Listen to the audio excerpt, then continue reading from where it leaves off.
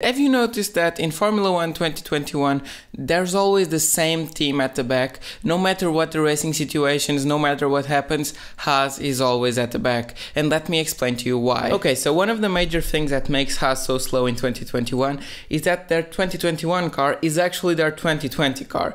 And you may have heard that in Formula 1, not upgrading is going backward. Because if you're not bringing upgrades to your car and all of your rivals are, then you effectively are going backwards in a grid. Because even if you start with a car that's better than theirs, then they will gain tenths of a second over the season and you will go backwards because you won't gain anything. And Haas actually didn't use any of their development tokens in order to upgrade the aerodynamics, the chassis, or everything. So the car is the same as last year and they even used some of their last year's chassis this year. And this wouldn't be as big a problem if the aerodynamic rules didn't change. So, as you may know, the Formula One rules changed from 2020 to 2021, especially in the floor. So, teams had to cut a triangular zone in the floor, which I'll show you on the screen right now, and if you see the Haas car from 2020 and now the 2021, the cars are basically the same with that cutout on the floor. And what this means is that they effectively had a car designed for, for a full floor and then they just cut a hole in it.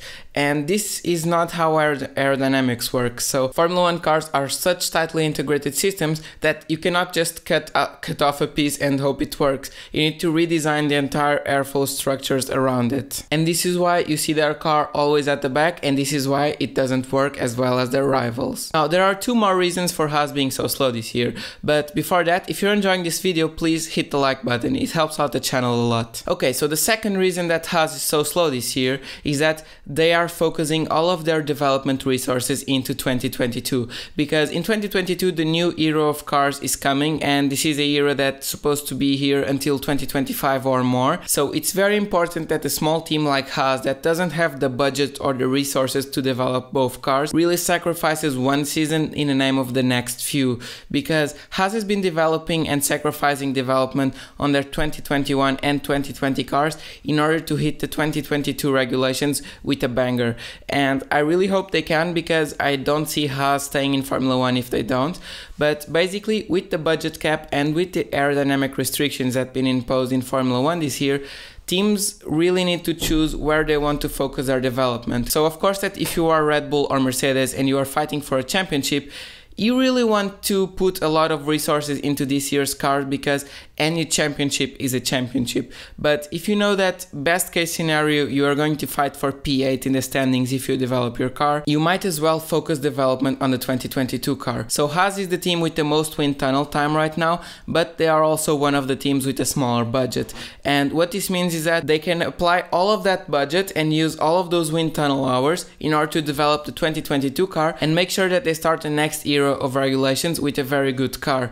And I honestly hope to see Haas make a step up next year with their car and make a step up on the grid because if not they are going to be sacrificing two or three seasons in order to develop a car that's not that good so i really hope that the engineering team at haas has a very clear idea and a very good grasp of these regulations in order to hit the next year with a banger and make sure that their car is really good and that they can at least fight at the top of the midfield because if you are investing two years of all of your engineering team in a car, you better have a good car that can fight on the top of the midfield. And just like they had a few years ago, a car that could fight for the fourth in the championship, they really need to hit that kind of performance again to justify all of this development. So the third reason that Haas is so slow this year is actually their driver lineup. And I'm not going to get into if I like their driver lineup or not this year, but one fact that you cannot question this year is that they have an all rookie lineup. And this is not ideal in order to develop a car, and it's not ideal in into getting everything you can out of a car that's actually quite slow. So Haas, as I said, has the same car as they have in 2020, but their results are very much worse than they were in 2020. And in that year, they actually scored some points, and Romain Grosjean and Kevin Magnussen could actually extract the most from the car because even though they were never in a top team and never fighting for wins or championships, Kevin and Romain were actually very good and experienced drivers, and especially Romain was very good at developing the car. Just remember that 2019 car problem where he actually wanted to go to an older spec in order to make the car better. And you cannot get that kind of experience from a rookie lineup because they are still learning what a Formula One car is. They have never experienced other Formula One cars, they have never experienced how a car evolves from one season to the next. This makes it really tricky to develop develop the car and even with the help of simulator drivers and everything it's really tricky to get the most out of the car with an all rookie lineup because in the end they are still learning and there's no problem with that. Actually it's very good that they are learning in a car that's so slow as this because it takes the pressure off them completely. So Schumacher and Mazepin have no pressure because no one is expecting them to be in Q2 Q3 or in the points. They just expect them to finish the races and they actually have been making a quite a good job of doing that. They don't have have any pressure. They are actually just learning the ropes, learning how a Formula One car works, learning how the season pans out. And through no fault of their own, they actually don't have any experience of developing the car. And because they are still learning, they cannot extract 100% of the car's performances, just like the more experienced drivers that were here last year could. So these are the reasons that Haas is so slow in 2021 and I think that most of them are actually a big bet in the future so I hope Haas stick around to see the returns of this investment. But this has been it for this video and let me know why you think Haas is always at the back and what they could do better even in a season like this. So this has been it for this video and if you guys enjoyed please don't forget to like and subscribe, it helps out the channel a lot and if you enjoyed this video please go watch my previous video that's right here on why track changes must be made at Spa after such a horrible Formula Formula One weekend.